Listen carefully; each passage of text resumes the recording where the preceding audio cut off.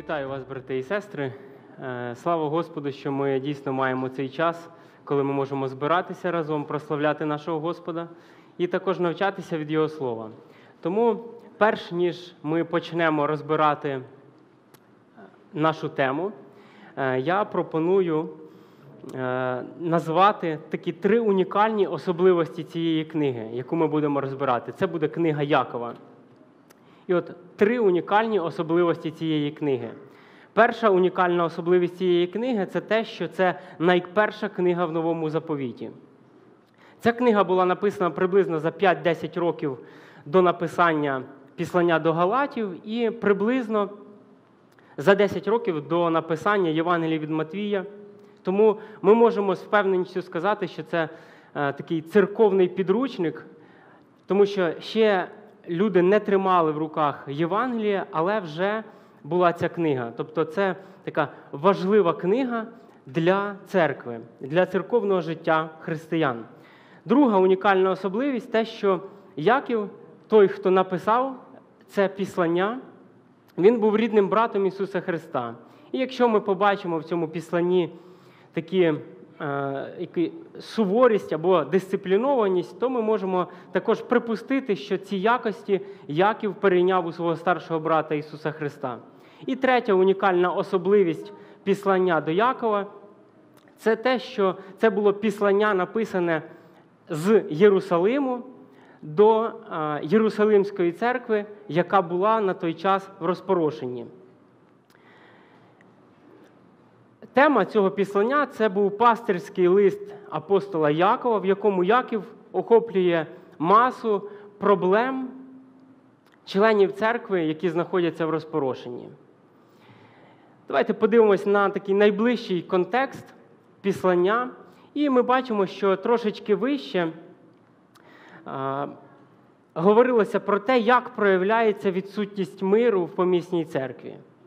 І зараз ми будемо розбирати нашою темою буде відсутність миру в помісній церкві. Отож, давайте зараз разом відкриємо післання Якова, четвертий розділ, і будемо читати з 4 по 6 вірш. Післання Якова, четвертий розділ, з 4 по 6 вірш. І тут записані такі слова. Це наш основний текст. Перелюбники й перелюбниці. Хіба ви не знаєте, що любов до світу це ворожнеча проти Бога? Адже хто хоче дружити з світом, той стає ворогом Божим. Чи ви думаєте, що Писання даремно каже, прагне до заздрощів той дух, який оселився в вас, в нас? Та більшу дає благодать, через те й говорить: Бог гордим противиться, а покірним дає благодать.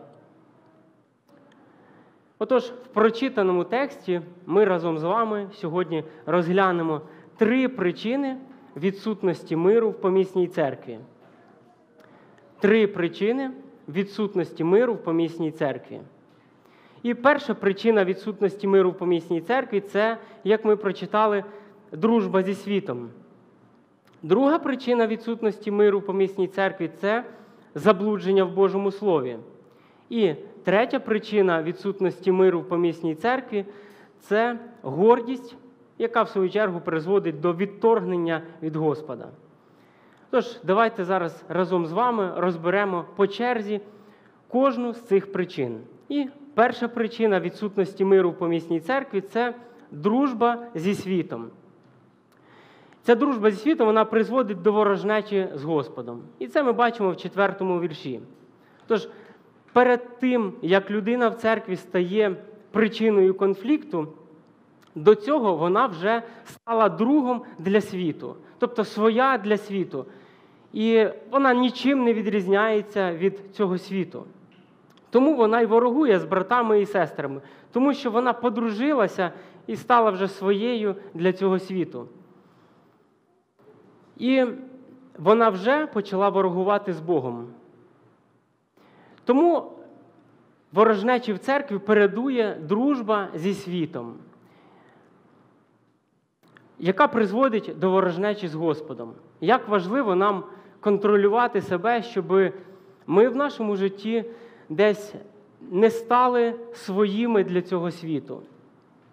І в нашому житті, коли ми живемо в соціумі, в цьому світі, ми не можемо повністю абстрагуватися від цього світу і сказати: ось я християнин, я в церкві, виходжу поза церкву, наді мною німб світиться, і я хожу, до мене не, не, дотрога- не доторкайтеся.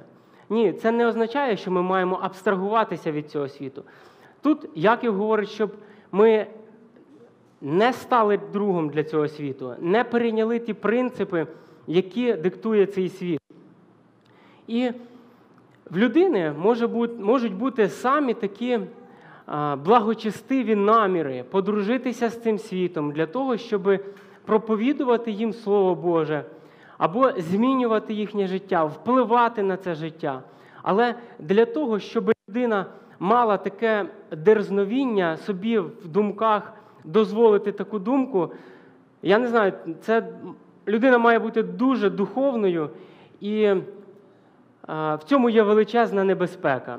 Тому що, маючи ці благородні наміри, людина може в своїй голові допустити цю думку, але потім ці принципи і ті наративи, які диктує цей світ, вони глибоко проростуть в цю людину, і людина стане другом цьому світові.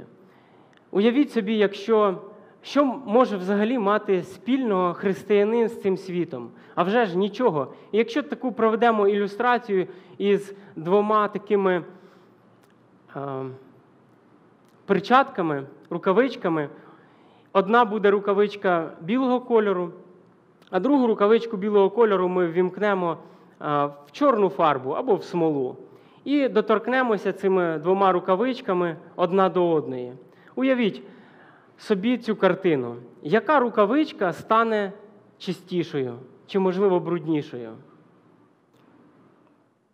Тому будьмо обережними в тому, щоб не стати другом для світу. Тому що ця, стаючи другом для світу, ми автоматично стаємо ворогом для Господа.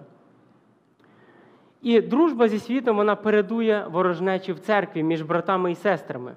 До речі, ми це говоримо на такому персональному рівні, особистому. Яків звертає увагу на окремих людей, тому що ми знаємо, що в церкві можуть бути люди більш духовно зрілі, менш духовно зрілі, які потребують підтримки. Тут Яків говорить на особистому рівні, щоб кожен з нас зараз подивився на себе, не на когось, а на себе. Тому ми тільки що з вами розібрали перше причину відсутності миру в помісній церкві, і це дружба зі світом, яка призводить до ворожнечі з Господом. Варто запам'ятати, що людина, перш ніж ворогувати з членами церкви всередині помісної церкви, вона вже ворогує з Господом. Зау... Варто зауважити таку закономірність, що перший пункт, який ми тільки що розібрали, показує, як людина ворогує з Богом. А третій пункт, який ми будемо далі розбирати, показує, як Бог відкидає і противиться. І цьому є певна причина, чому Господь так поводиться. Друга причина відсутності миру в помісній церкві це заблудження в Божому Слові, яке призводить до втрати любові. І це ми бачимо в п'ятому вірші. Ми тут прочитали, що Дух Святий до ревнощів любить, проте не ворогує. Ревність це така емоція, яка досить е, несе в собі таке неприємне забарвлення. Батьки, коли виховують своїх діток, і це мені дуже зараз е, близько, ми, батьки і матері, ми маємо карати своїх діток. І чому ми це робимо, дорогі батьки? Для того, щоб просто зробити боляче своїм діткам. Чи в нас є якась інша ціль, чому ми це робимо? Отож, батьки вони роблять це з ревності, виховують своїх дітей. Вони хочуть бачити своїх дітей іншими, ніж вони є на зараз. І батьками не керує гнів, не бажання чисто покарати свою дитину. А батьки ревнують, щоб їхні діти були іншими, кращими, щоб вони були святими Божими дітьми. Тому ревність Святого Духа вона не така, що карає, аби покарати. Йому неприємно, коли діти Божі роблять гріх. Проте його методи Духа Святого вони направлені на те, щоб виправити людину. І вони спровоковані любов'ю і ведуть до виправлення людини, щоб людина стала іншою. Людина дитина Божа. Яке ми можемо зробити тут застосування? Досліджуємо Боже Слово, щоб не втратити цю любов. Якщо ми подивимося зараз на навіть на нашу церкву і взагалі на всі церкви, в церквах ми переживаємо, коли людина не, може неадекватно себе поводити по відношенню до інших. Вона живе в гріхах і в неї немає стосунків з Господом. І вона що робить? Вона виливає це зло на оточуючих, тобто на інших членів церкви. Що вона робить при цьому? Вона робить зауваження. Ви не так робите, ви не святі, ви не такі. І саме нам здається на перший погляд, що вона хоче дисциплінувати, щоб виправити нас. Проте причина цього полягає в злому. Вона це робить, щоб докоряти нас і приносити нам біль. Коли відсутній мир в людини, це відчуття може поправити тільки любов. Коли люди заблуджуються в слові, це призводить до того, що вони втрачають любов, любов та, яка є в Господа. Але як діє Дух Святий? Дух Святий діє так, що Він любить до заздрості. Він заздрить, люблячи з любов'ю. Він ненавидить гріх, проте він відноситься до того, хто грішить, як до пацієнта, якому потрібна допомога. Так от, дисципліна Божа і ревність Духа Святого, вона ніколи не робить це для того, щоб причинити біль людині, а для того, щоб принести виправлення для цієї людини. Тому Бог любить до ревності, і його дії продиктовані тільки виключно з любов'ю. Отож, ми розібрали другий, другу таку причину заблудження в Божому Слові, яке призводить до втрати любові. Тож, людина заблуджується в Божому Слові і не може проявити цю любов. Наша заповідь всього і найбільша заповідь всього Писання це заповідь любові любити Бога і любити ближнього.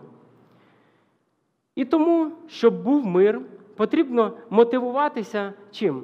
Мотивуватися Словом Господнім, брати з нього цю істину і застосовувати його в своє життя. Не по відношенню до когось іншого, а по відношенню до себе. І Слово Боже в першу чергу мотивує любити так, як любить Господь. І тут приводиться Дух Святий, бо Він до ревності любить. Наша дисципліна до братів і сестер в церкві потрібна проявлятися тільки виключно з любов'ю. Якщо ми хочемо в чомусь облічити нашого брата чи сестру, ми маємо робити це з любов'ю. З іншої сторони, брат чи сестра, яка отримує це засудження, вона має з мудрістю приймати це. Не з тим розумінням, що брат чи сестра, які це роблять, вони хочуть зробити їй краще, допомогти їй.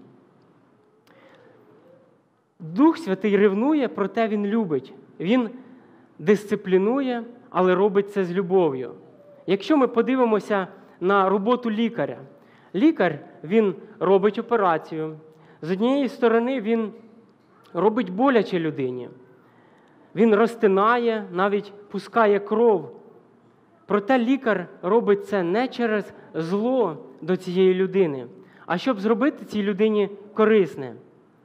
І ось третя, остання причина, яку ми сьогодні з вами будемо розбирати на основі прочитаного тексту, це гордість, яка призводить до відторгнення від Господа. І це ми бачимо в шостому вірші. Тут написано: Бог гордим противиться. Господь Він відторгає гордих. мова не йде про втрату спасіння. Очевидно, що мова йде про людей, які не народжені згори. І тому в церкві вони не можуть фізично вчиняти по-духовному. Вони проявляють себе в тому, що не можуть жити мирно в церкві. Проблема відсутності миру вона полягає в тому, що той, хто не має миру в церкві, він намагається відторгати братів та сестер, тим самим показуючи, що вже він сам є відторгнутий Господом. Тут проявляється така закономірність. Якщо людина не має миру в церкві, відторгає інших в церкві, проявляючи гордість, це, це стається тому, що ця людина вже є відторгнута Господом. І через те, що людина горда, вона відторгнута Богом, і вона відторгує інших. І якщо навпаки подивитися, коли ця людина відторгує інших, це свідчить про те, що ця людина відторгнута Богом через гордість. Отож, ми розглянули третю причину, яка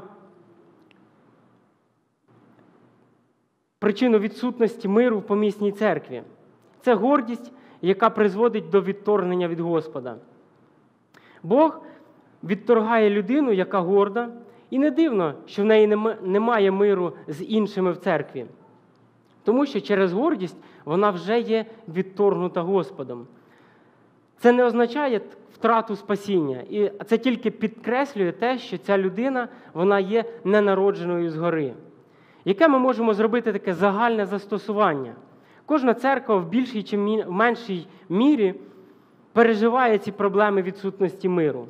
Порою церква не знає, в чому причина. Інколи думають, що відсутність миру полягає в тому, що в нас частина є літніх людей, частина є тих людей, які вже трошечки молодшими. Можливо,